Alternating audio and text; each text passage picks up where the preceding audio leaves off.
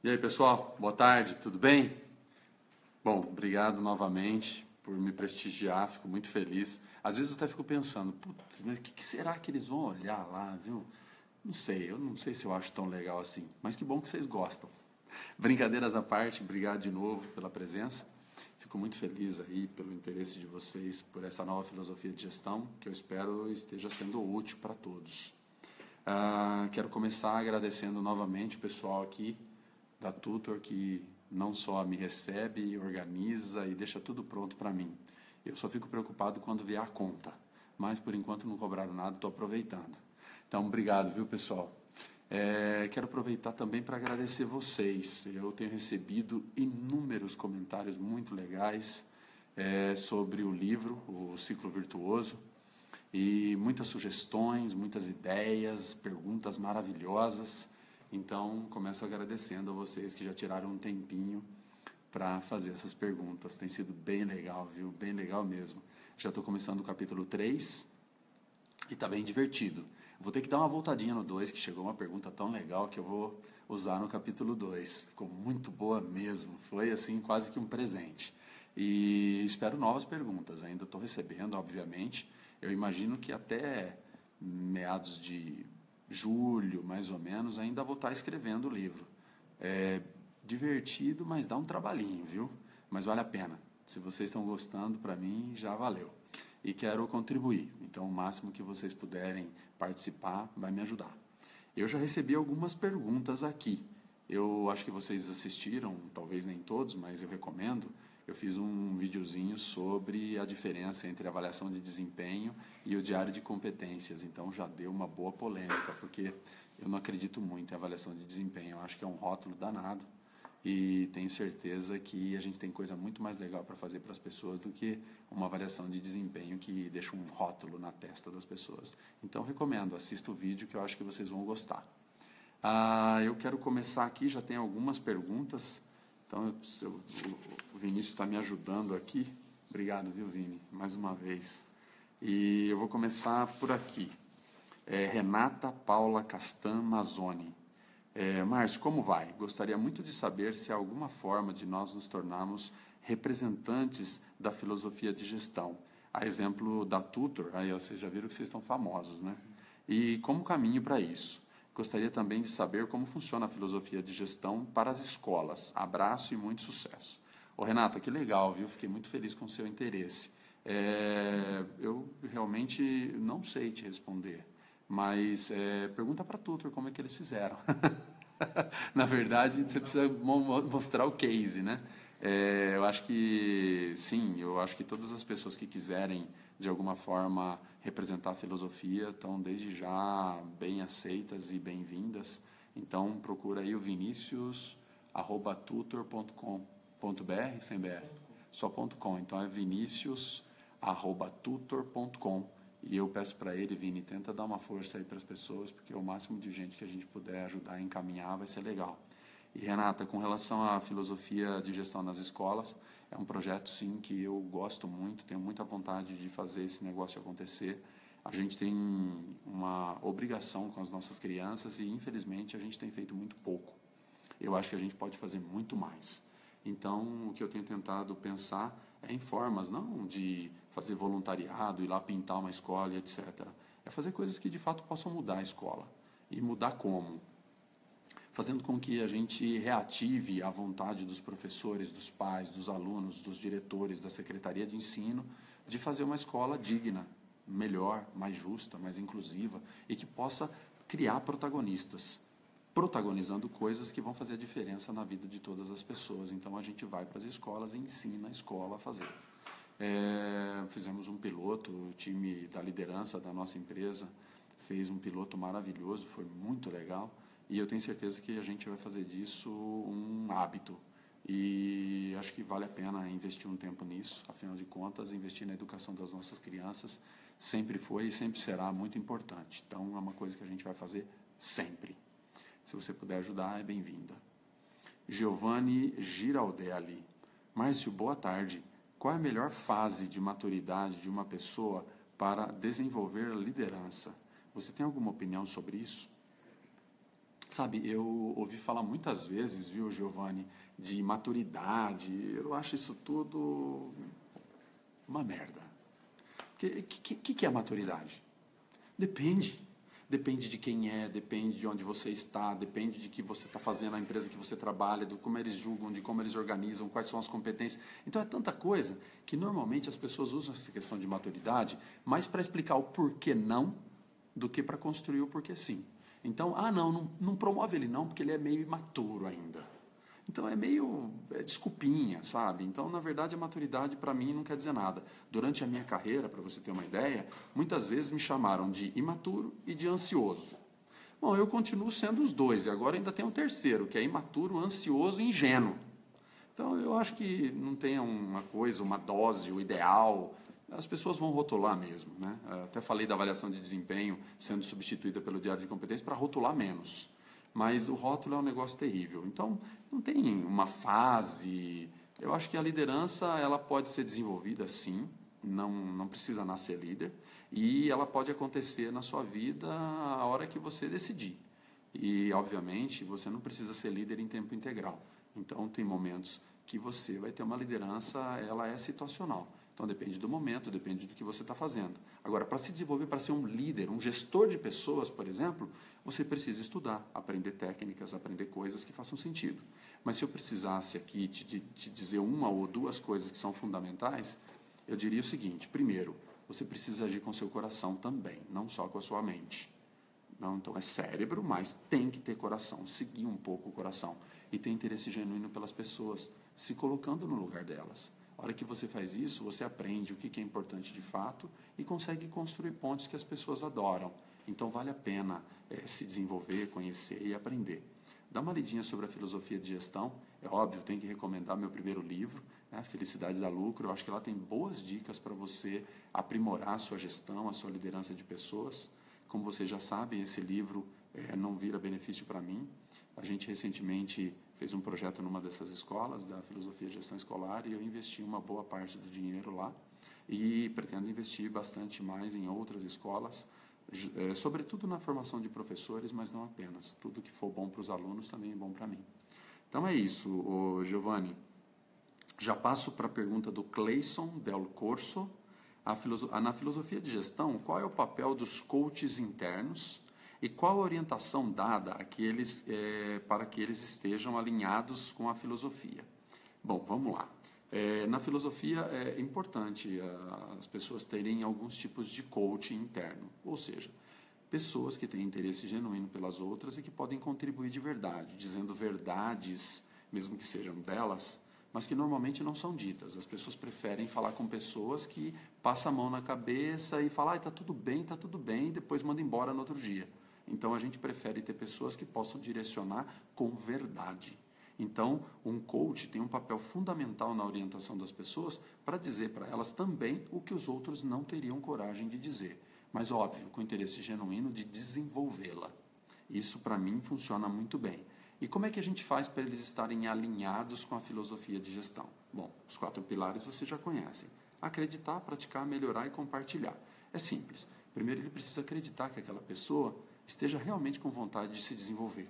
E precisa acreditar que ele também possa agregar algum valor para ela. Aí eles precisam começar a trabalhar, gerar movimento, praticar essas coisas no dia a dia. Obviamente, eles vão começar a perceber as melhoras e depois eles vão compartilhar essas experiências com os outros. Então, como é que entra na filosofia? É muito simples, acreditando, praticando, melhorando e compartilhando. Isso vale para tudo, para o coach ou para qualquer processo ou trabalho que você for fazer. Desde um procedimento que você redige para uma área, por mais burocrático e, e técnico que ele seja, ele tem que contar com essas quatro vertentes. Porque se for assim, as pessoas vão ter facilidade para fazer ele todos os dias e não vão ficar com raiva de ter que fazer aquela coisa que elas nem acreditam. Então é mais ou menos a mesma forma como um coach lida. Eu prefiro até mais do que o coach, um tutor, né? Até para prestigiar meus amigos da Tutor, eu acho que o tutor tem uma vantagem competitiva. Ele estende a mão e vai junto. É, não é só fazer pergunta inteligente e que mobiliza. É também caminhar junto, é assumir um pouquinho de risco, é se expor um pouquinho. Eu acho que isso faz uma diferença maior. Bom, é, Sheila Gonçalves. É, Márcio, como seria o plano de carreira dentro da filosofia de gestão? Essa é uma excelente pergunta, viu, Sheila? Na verdade, é, a gente vê, por exemplo, em termos de sucessão, muita gente falando de é, mapeamento de sucessão. E o mapeamento de sucessão, ele não leva em conta o plano de carreira que cada pessoa tem. Ou seja, ele leva em conta a necessidade da empresa e faz com que é, as necessidades da empresa sejam supridas por pessoas que são previamente mapeadas. Então, é um trabalho feito por recursos humanos e por indicação do gestor. Nada contra, eu acho que é, é útil. Agora, para ser de verdade bom, é o que eu, pelo menos eu gosto de dizer dentro da filosofia de gestão, é, isso precisaria também considerar a vontade das pessoas. E para considerar as vontades, a vontade das pessoas e assim gerar um engajamento, é, teria que ser um pouco diferente. Ou seja, a empresa deixaria todos uh, os cargos livres e abertos para todas as pessoas verem, estabeleceria requisitos para que as pessoas pudessem se candidatar a, a, a ser sucessor daquela posição e assim construir o seu próprio plano de carreira. Ou seja, os requisitos estão claros, eu cumpro esses requisitos, e uma vez por mês, por exemplo, o nosso RH pode realizar um projeto para validar todos aqueles que são sucessores ou candidatos à sucessão de determinadas vagas dentro da sua escrita do seu próprio plano de carreira. E aí são feitas as entrevistas é, técnicas comportamentais, desde que cumpra os requisitos. E, e depois disso é avaliado pelo, é, pelos recursos humanos, por um comitê de pessoas e pelo dono daquela área, que é um gestor que não tem a maioria dos votos. Ele é apenas um voto entre todos esses que eu mencionei. Dessa forma, a gente vai conseguir fazer um processo de construção de sucessão que leve em conta a vontade das pessoas e a necessidade da empresa. Fazendo dessa forma, fica tão mais interessante para a empresa que, por exemplo, as pessoas começam a investir nelas mesmas. E investindo nelas mesmas, a empresa economiza.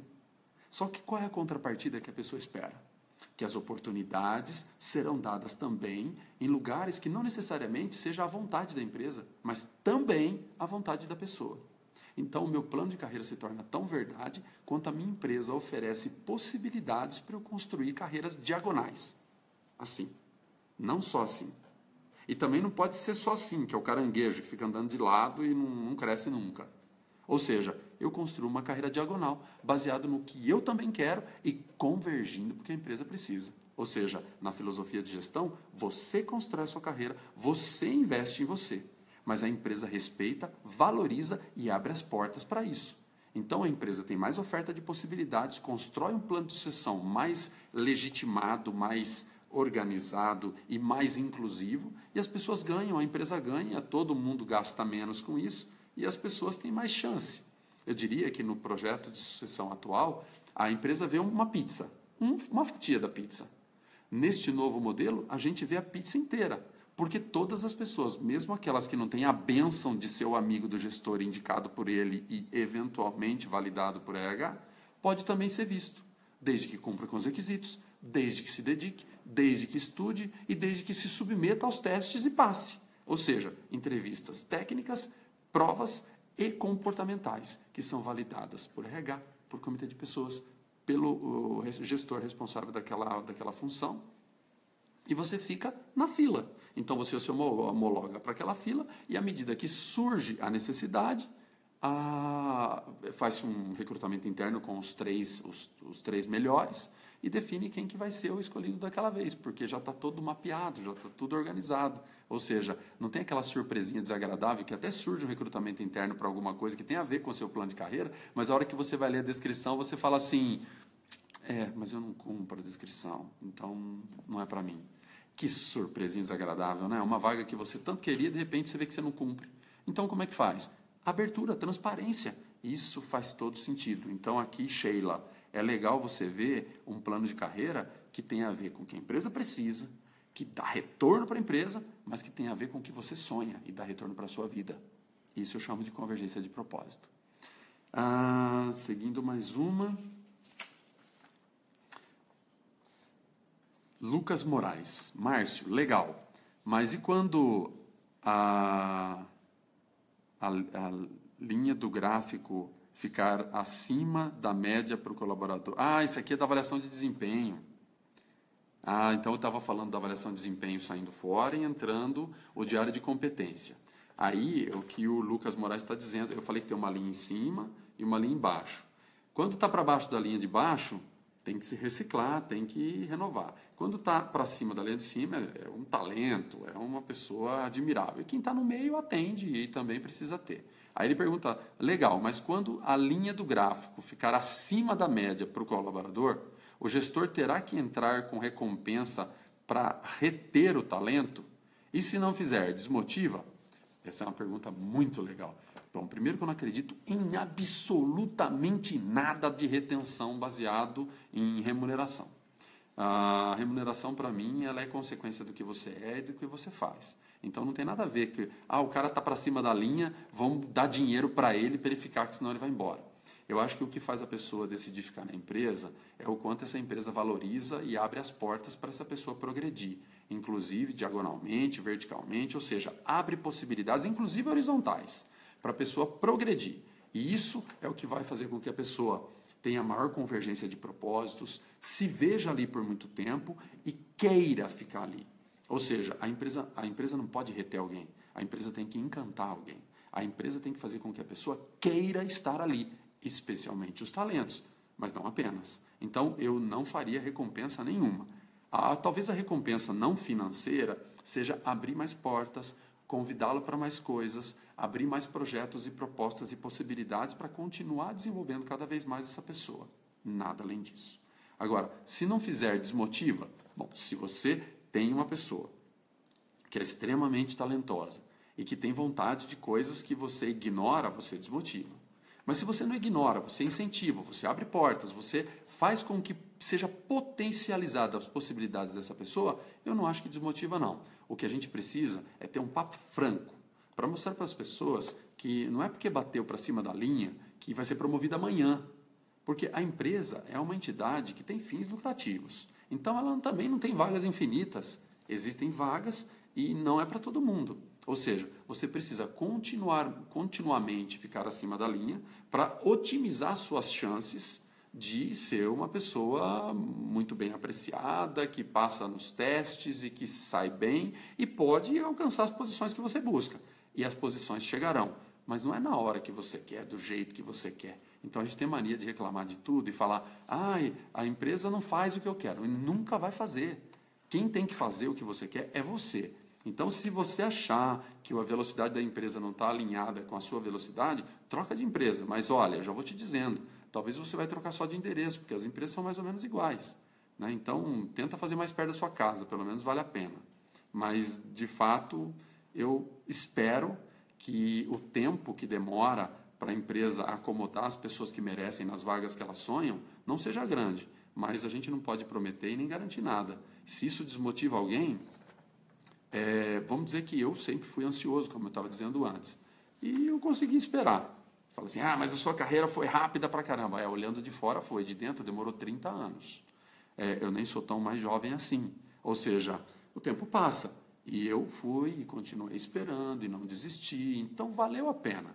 Então eu espero que tenha valido a pena para aquele que espera também. Ah, o que, que é, Vini? Isso aqui eu não entendi. Incentivar eles perguntarem mais no comentário. É? Fazer pergunta. É, O Vini está dizendo que ninguém tem curiosidade. Acho que a gente já vai encerrar. Tem- só tem 180 perguntas até agora? Não, então per, perguntem, mandem as perguntas aí, fiquem à vontade, porque eu quero tentar responder todas. Não sei se eu vou conseguir, mas vou me esforçar. Bom, o Luiz Augusto de Siqueira também fala sobre o vídeo que foi passado outro dia. Márcio, interessante, mas ainda tenho dúvidas sobre a pontuação e distribuição de pesos para a construção do gráfico. Isso é um ponto é, procedente. E conven- convencimento dos colaboradores para manter a alimentação dos dados durante o ano todo, dia a dia. É, veja, é uma pergunta muito boa, viu, Luiz Augusto? É, os pesos, eles não são tão complexos assim.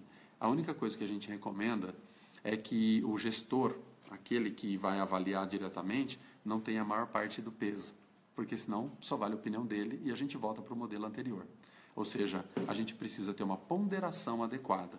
E a minha recomendação é que seja, por exemplo, 30% para o gestor, mais 30% para o RH, mais 30%, por exemplo, para o comitê de pessoas, e eventualmente 10%, ou então 20, 20, comitê de pessoas e pessoas, para a equipe. Então, a ponderação pouco importa, desde que você faça a menor parte, ou não a parte é, maior, para o é, gestor da equipe. Agora, com relação ao convencimento dos colaboradores para manter a alimentação dos dados durante o ano todo, é muito simples. A sua vida na empresa passa por aqui. Se você mantiver atualizado, beleza. Se não, azar o seu. Não chora, não reclama. Simples, não é? É uma ferramenta boa de convencimento, você não acha? Quem tem saco, vai lá e faz. Quem não tem, deixa de fazer, não tem problema nenhum. Só não pode reclamar, porque você podia ter feito. Ou seja, é assim, tem gente que vai fazer um treinamento, a empresa paga o treinamento e depois quando volta não leva o diplominha lá para registrar na, na, no seu prontuário. Azar o seu, não tem problema nenhum. O que nós queremos é que as pessoas percebam que hoje, cada dia mais, você é o protagonista da sua vida. Então você, como protagonista da sua vida, tem que cuidar de você. Então, se você tem coisas boas para contar e não conta, o que, que você pode fazer? Então, chorar, porque não tem mais o que fazer. Ou seja, ninguém é, vai na rede social para você e fala por você. Ninguém preenche o seu currículo nos sites de emprego. Ninguém manda o seu currículo para um headhunter. É você que tem que fazer isso. Então a gente acredita que na empresa, na hora que você faz um diário de competência, você tem que ir lá falar bem de você sim, falar dos trabalhos que você fez, porque se você imagina que sempre vai ter alguém cuidando de você, vendo o que você está fazendo, para garantir que você será reconhecido, pode ser que não. E aí você fica frustrado, pô, ninguém vê o que eu faço. Então mostra, fala. As pessoas às vezes são mega talentosas, mas não falam. Então aqui vão ter oportunidade. Se não aproveitar, fica para trás. Mas a chance será dada igualmente para todos. Isso é o que a gente tem que ter na cabeça. É, continuando, o Derval Júnior achou boa a ideia.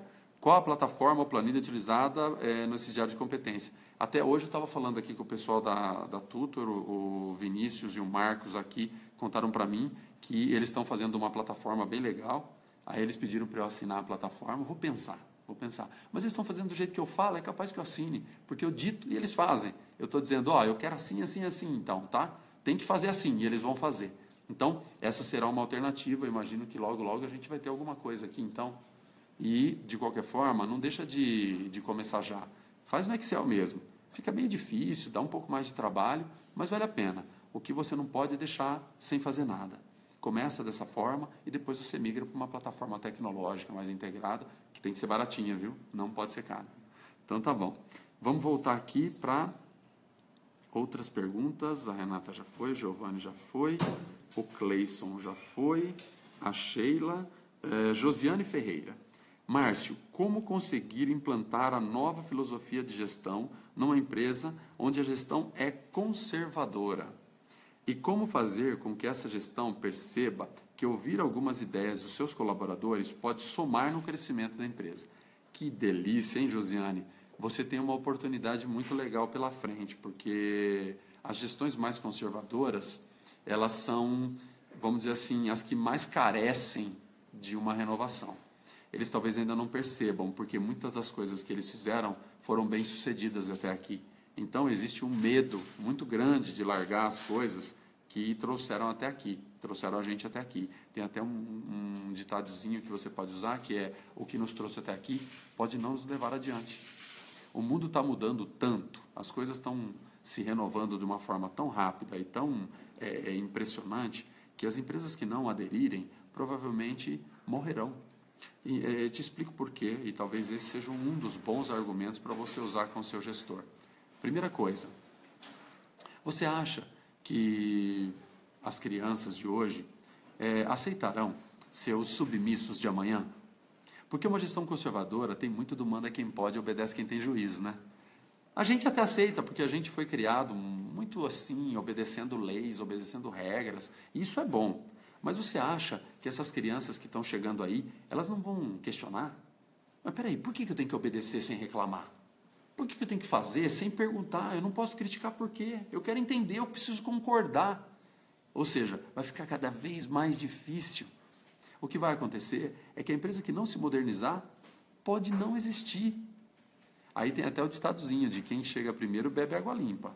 Mas vale a pena mudar independente de não ser tão cedo assim. É, o nível de eficiência que isso traz, pra, não só para as pessoas, mas pra, também para a empresa, é enorme. E eu até te explico por quê. Imagina numa gestão aonde você tem que mandar. Imagina o nível de controle, de investimento em fiscalização que você tem que ter para garantir que as pessoas estão trabalhando de verdade. É um negócio difícil, que custa muito caro. Então, se você consegue fazer com que as pessoas encontrem propósitos convergentes, que faça com que ela queira trabalhar ali, que ela gosta daquilo, você não precisa fiscalizar. A gente pode restabelecer uma coisa que está quase perdida, que se chama confiança. Ah, mas então nós vamos confiar em todo mundo e tudo vai acontecer? Não, não precisa ser assim. É lógico que nós vamos ter pontos de controle, obviamente. Mas as coisas vão acontecer com mais facilidade. A gente não vai precisar ter tanto medo de ser enganado tanto tempo. Eu acho que as coisas ficam mais leves. E quando as pessoas querem, as coisas acontecem. O que a gente precisa fazer é com que essas pessoas mais céticas consigam ver. Os números mostram isso. A eficiência que a gente consegue fazer em qualidade, em produtividade, em redução de custo, são muito maiores. Eu consigo dizer para você que numa linha de produção, por exemplo, eu não sei qual é o setor que você trabalha, mas numa linha de produção existe uma ineficiência média de 30%, básica, padrão. Se você pega os procedimentos e olha na prática o que está acontecendo, o descolamento é de no mínimo 30%. Esse 30% é metade ineficiência pura e a outra metade é fazer errado porque não acredita no especificado que estava lá. Ou seja, tem uma margem enorme. Se você escuta as pessoas, elas podem participar, você pode construir coisas muito diferentes. E a produtividade e a qualidade vão refletir na competitividade dos seus produtos. E a hora que o seu sócio, aí, o acionista da sua empresa, que é conservador, perceber isso, ele vai mergulhar. Porque uma coisa que essas pessoas têm, elas são apaixonadas. Eles não montam um negócio só para ganhar dinheiro. Tem um monte de coração nisso que fizeram com que eles começassem em algum momento e sofressem, aprendessem e talvez agora estejam bem, mas talvez nunca estivessem chegado tão perto de precisar de uma mudança. E eu acho que isso vai ser cada vez mais importante. O que eu espero é que antes de quebrar a cara eles mudem. Mas com pessoas como você, que estão olhando para isso e estão vislumbrando coisas novas, com um pouquinho de paciência e de persistência, eu acho que você vai conseguir mostrar para eles com dados e fatos. Agora tem duas perguntas aqui da Ellen Zupo. É, a primeira pergunta: Como gerir diferentes perfis? O mais controlador, o introvertido, o extrovertido, o amoroso, no mesmo time, que estão viciados em reclamar sem apresentar sugestões de melhoria. Bom, primeiro você tem que realmente fazer esse mapeamento para saber quem é quem. E óbvio, a gente, como vive em sociedade, nós vamos lidar mesmo com todos os perfis, isso é a coisa mais normal do mundo. O que a gente precisa fazer é encontrar o que move cada um deles. É, é, claro que não precisa ser a mesma coisa movendo todos. Mas o que move essa pessoa que também é controladora? Por que será que ela é controladora? Será que se eu me aproximar dela e construir uma credibilidade com ela, ela pode confiar em mim ao ponto de contar para mim o porquê que ela é assim? Será que ela sabe por que ela é assim? Então nós vamos conversar, nós vamos nos entender e nós vamos tentar construir pontes juntos. Nós vamos fazer isso com uma pessoa que é mais introvertida e isso nós temos que respeitar é, essa forma mais introvertida dela, ou seja, nós não vamos fazer isso em público. E assim, respeitando um por um, conversando com um por um, nos aproximando deles todos, nós vamos tentar construir esse caminho juntos. O mais importante é que os vícios que existiam vão ter que ser gradativamente destruídos. Você vai ter que mostrar com dados e fatos concretos que a proposta é muito melhor do que a reclamação. Tem muita gente que diz que a notícia ruim chega rápido, você vai ter que provar que a notícia boa chega rápido e fica. Ou seja, a proposta que as pessoas podem fazer no início para aprender a mudar esse modelo mental da reclamação é em favor dela mesma. O que você vive aqui no seu trabalho que faz com que você não goste daqui? Ou que faz com que você seja tão controlador trabalhando aqui? Vamos mudar? Como? Vamos junto. Vamos construir uma proposta? Ensina, faz junto. Eu acho que isso vai ajudar bastante. Aqueles que são mais extrovertidos, fica mais fácil, porque eles se expõem mais, se expressam mais. Os mais amorosos podem ajudar você, e muito. Não é sendo a mãezona que deixa tudo, que tudo pode. É ajudando você a mostrar que existem caminhos que não transformam a nossa vida no trabalho em um inferno e que podem fazer com que a gente seja assim mais feliz fazendo aquilo. Então isso pode funcionar e vai funcionar muito bem. Não tenha dúvida. Não desista. É, segunda parte. Ainda sobre perfis acima, como conduzir um feedback sobre determinado assunto em que seu liderado não expôs para você, líder, mas sim para outro par do trabalho ou colega da empresa e você teve conhecimento do ocorrido? É, é óbvio que você não vai poder matar sua fonte, né? É, você soube por um terceiro, você não vai chegar lá e falar, oh, então fiquei sabendo aí o que você está falando, cara. Não pode ser assim. Então você tem que preservar suas fontes, usar essa informação maravilhosa a seu favor e dizer para a pessoa com outras coisas e com outras abordagens, coisas que façam com que ela comece a estabelecer uma proximidade com você. Então você vai se interessar por ela, vai se interessar pelo que ela é, pelo que ela sonha e tentar ajudá-la a construir essa ponte. Ou seja, você vai ser uma líder facilitadora. À medida que isso começa a acontecer, a pessoa vai começar a ter credibilidade no que você fala. À medida que ela tem credibilidade no que você fala, ela começa a construir confiança. Lembra do ciclo? Proximidade, credibilidade, confiança, está no primeiro livro. A hora que você faz isso, a pessoa naturalmente vai começar a contar coisas para você. Hoje, eu sou presidente de um grande grupo e tem um monte de gente que conta coisas para mim e não conta para o chefe. Ou seja, talvez o chefe ainda é chefe e eu já tento ser facilitador há um bom tempo. Independente de eu ter um cargo bem alto, as pessoas têm o costume de confiar em mim. Coisa divertida isso, viu? É bem legal. Aí eu vou lá, conto para o gerente. Conto por quê? Porque ele precisa aprender a conquistar a confiança das pessoas. Não é porque eu estou indo lá dedurar o que a pessoa me disse. É para tentar ensinar ele que ele pode sim facilitar a vida das pessoas. Não preciso ser eu. E eles geralmente aprendem. A gente tem tido surpresas muito boas de pessoas que a gente não esperava que pudessem fazer mudanças e fizeram mudanças incríveis. Então, eu acho que você pode testar, fazer esse trabalho de feedback, acompanhar, mas com aquele interesse genuíno de verdade.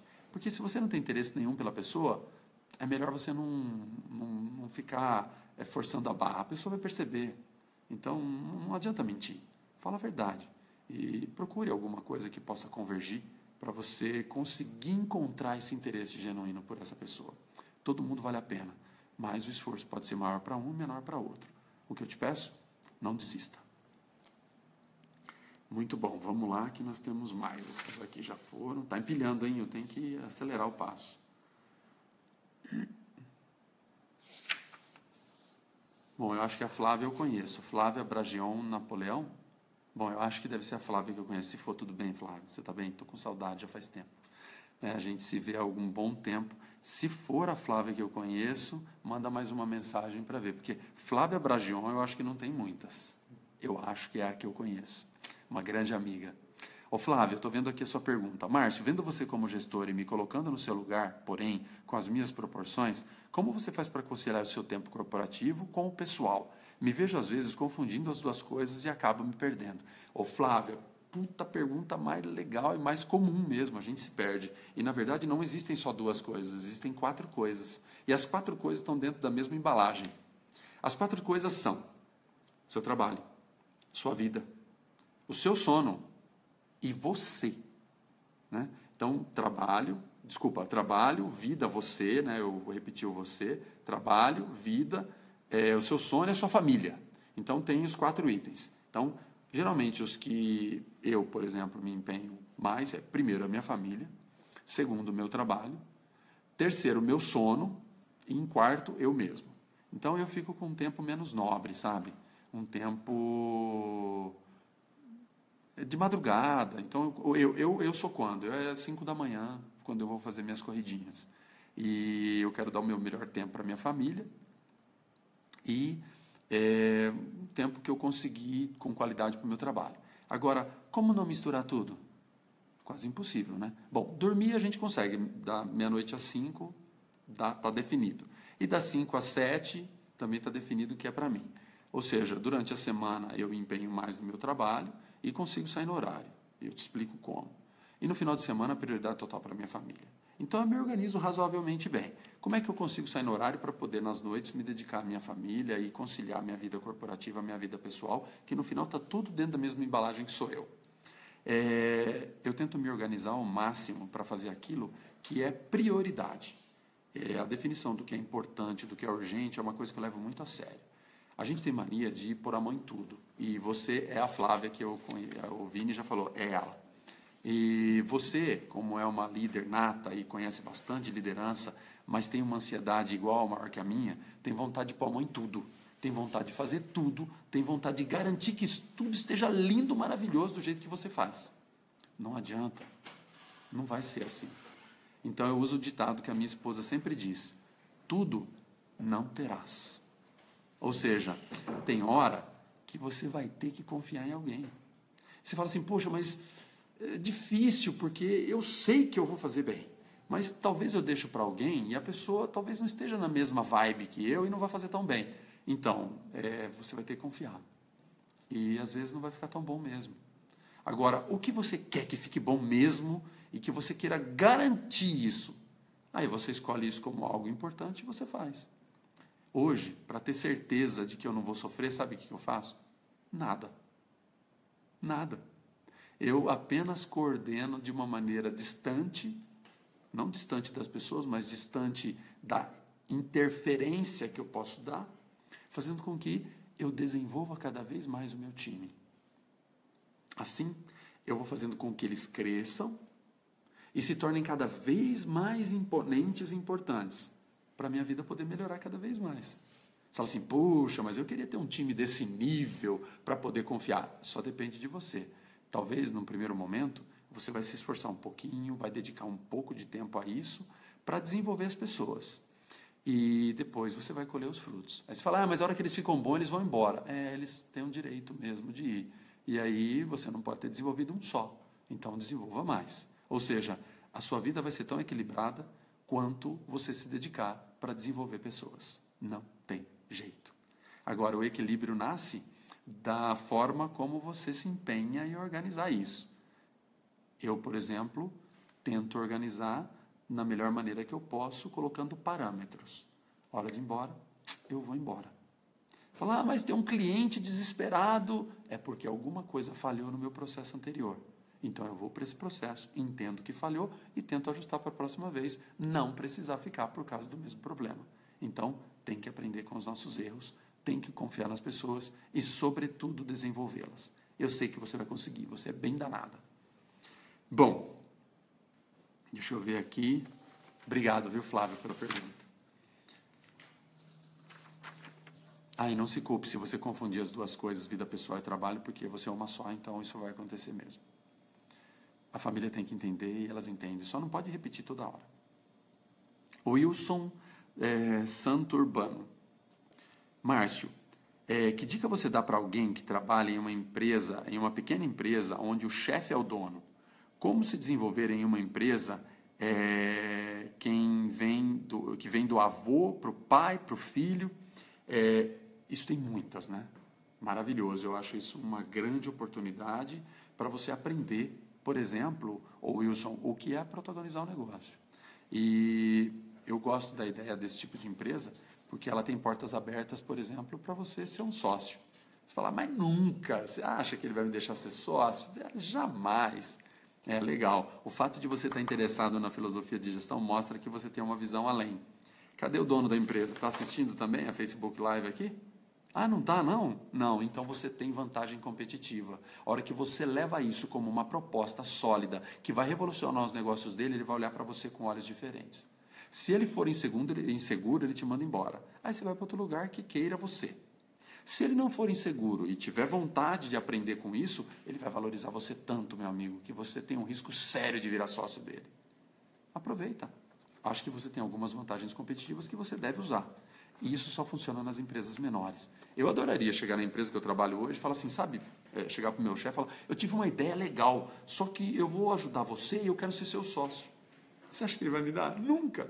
Só na empresa de dono isso acontece, aproveita. Essa chance é sua.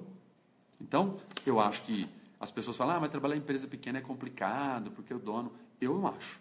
Eu, particularmente, acho isso uma grande oportunidade de você ser um protagonista real e fazer coisas marcantes porque essas pessoas normalmente não têm é, é, essa vivência, essa pegada, essas coisas que você está trazendo. Salvo exceções, é claro, sempre temos. Mas a maioria não está ligado nisso. Está ali apagando incêndio, naquela correria, no dia a dia, fazendo mais ou menos o que a Flávia falou, misturando tudo. Agora imagina, eu acho que eu preciso apresentar você para a Flávia, cara, porque você chega lá e fala assim: eu vou te ajudar a construir isso aqui. É amor imediato. Ou seja, se não for nessa, será em outra. Mas não desista de pensar diferente, tá bom? Ah, Tadeu Rosa Martins. Dentro de um ambiente corporativo repleto de pessoas com potencial, porém sabendo que cada um tem um potencial voltado para uma determinada área ou especialidade, como você identifica líderes ou gestores? Como consegue, através do perfil de um profissional no ambiente corporativo, identificar o potencial de liderança? Bom, eu vou dar uma resposta. Primeiro, primeiro a resposta que eu queria dar de coração, depois a que eu vou dar com o cérebro, tá? É assim. Falando de, de coração, é, não precisa falar, não precisa fazer nada. Você olha e já sabe se tem o perfil de liderança ou não. É inacreditável, não é? As pessoas perguntam para mim: pô, como é que eu faço uma entrevista? Como é que funciona? É, como é que ganha o coração do entrevistador tal? Não sei, cara. É um negócio intuitivo, instintivo. É difícil de explicar. Porque as pessoas às vezes não precisam nem falar nada. Você olha, você já sabe que tem perfil de liderança. Parece que está Parece que é uma coisa que está bem transparente no, no, jeito, na formação, nas experiências, nas coisas que viveu, naquilo que é importante, baseado em poucos segundos de, de proximidade. E se for com conversa, então, fica muito mais fácil. Mas é nos primeiros minutos. E depois você pode ter certeza ou não.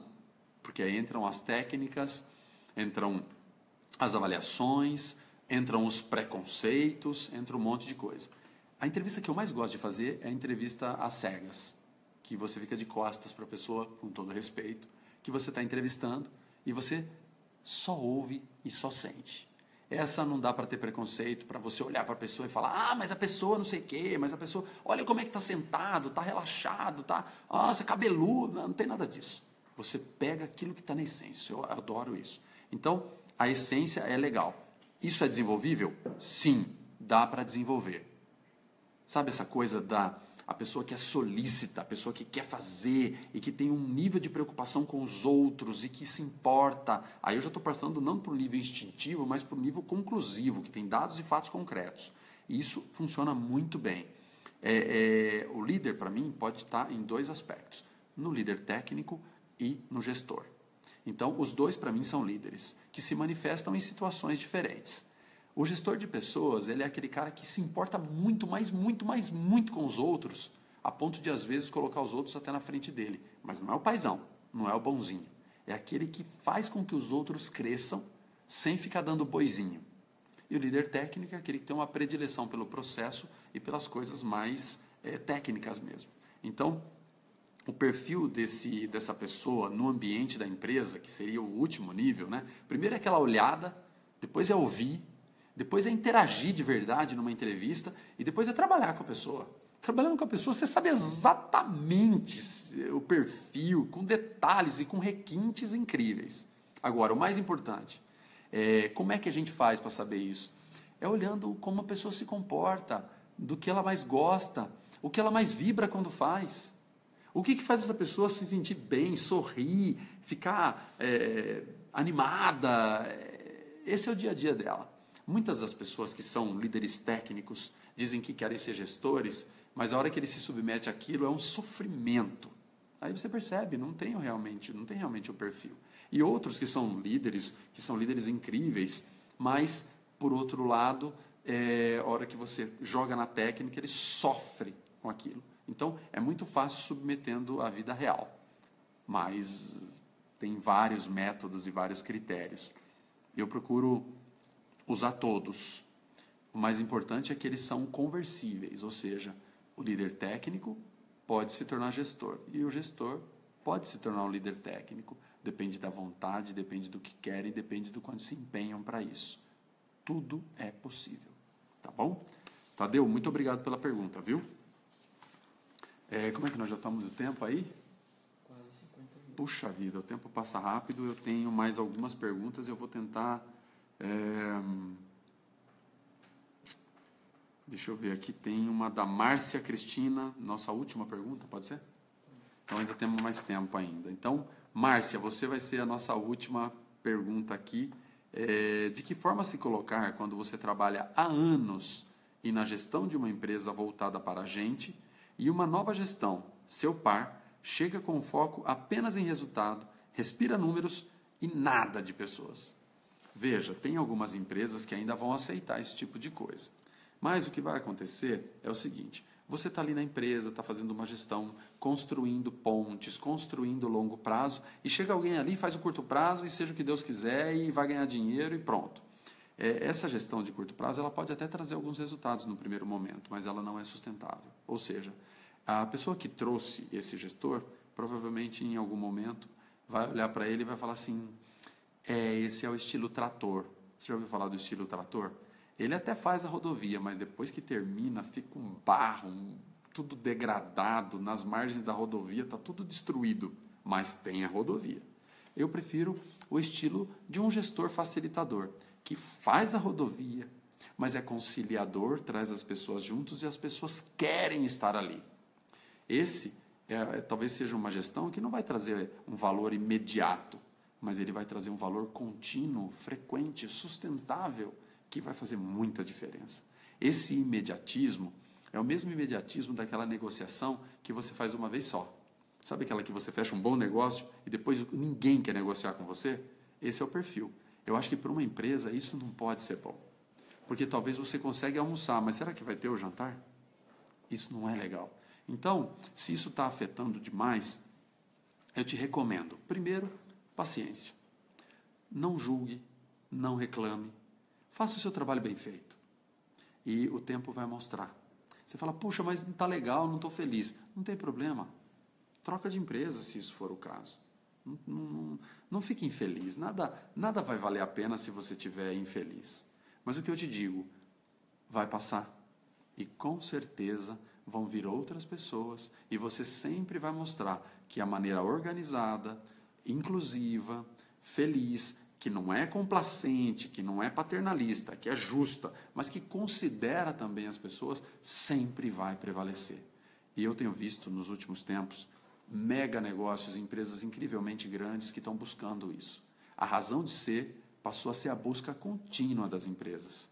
Mesmo aquelas que procuram resultado no curto prazo, não deixam de colocar as pessoas na frente, de valorizar as pessoas, algumas por demagogia, mas a maioria já percebeu o valor que isso tem.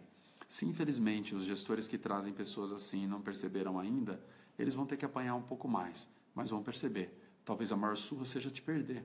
O que eu te peço é não desista, tenta apostar um pouco mais, mas é, também não faça da sua vida um martírio para fazer valer a pena coisas assim para pessoas que estão é, com dúvidas de qual caminho seguir. Tá bom? Obrigado pela pergunta, Márcia. E é, eu quero voltar aqui e agradecer a Tutor. Né? Eu tenho uma vida muito fácil. Eu marco um horário, peço ajuda deles, eu chego aqui, está tudo pronto, resolvido, organizado, tudo funciona. Né? Tem uma aguinha, está tudo resolvido aqui. Isso aqui é vida, então eu não posso deixar de agradecer vocês. Obrigado pela força aí, Vini, Marcão, a toda a equipe. Obrigado mesmo, fico muito feliz. É, enviem perguntas. Eu acho que as perguntas que vocês estão colocando são muito boas. Eu vou mencionar o nome de vocês, obviamente, né, fazendo o crédito à, da pergunta, e também vou ter o maior prazer de autografar com muito carinho mesmo uma dedicatória especial no livro, na primeira edição, logo que sair nas livrarias, e mandar para você. Quem sabe a gente não combina um encontro, hein, Vini? Seria uma boa, né? Não posso prometer, mas olha, é uma ideia que me ocorreu aqui quem sabe a gente não faz um encontro com todas essas pessoas que ajudaram e construíram é, comigo essa jornada do ciclo virtuoso. Então agradeço demais. Se vocês quiserem ver mais alguma coisa, filosofiadigestão.com.br barra novo livro. E. Oi? Para enviar pergunta. Ah, para enviar pergunta aqui. Tem o filosofiadigestão.com.br para baixar, baixar o, o nosso arquivo, está lá. Nós estamos já construindo um novo que vai ter muito a ver com o novo livro também, está tá saindo em paralelo e vai ter muita coisa legal para frente. Então, agradeço demais a vocês, muito obrigado pelo prestígio novamente. Eu vi que teve muitos amigos aqui, eu vi nomes passando, muitas perguntas que a gente não conseguiu responder ainda, mas é, a gente vai fazer outros, obviamente. A gente começou no, esse ano, em janeiro, se eu não me engano. Agora nós estamos de novo, vou tentar diminuir um pouco o tempo para a gente fazer outros e espero que vocês tenham gostado. Vou continuar publicando alguns livros, desculpa, alguns, alguns vídeos que eu espero que vocês curtam também, que são algumas quebras de paradigma de coisas que a gente vive, especialmente relacionado a pessoas, e que a gente pode sim mudar. Tá bom? Muito obrigado a todos aí, um grande abraço e a gente vai se vendo. Tchau, gente. Obrigado.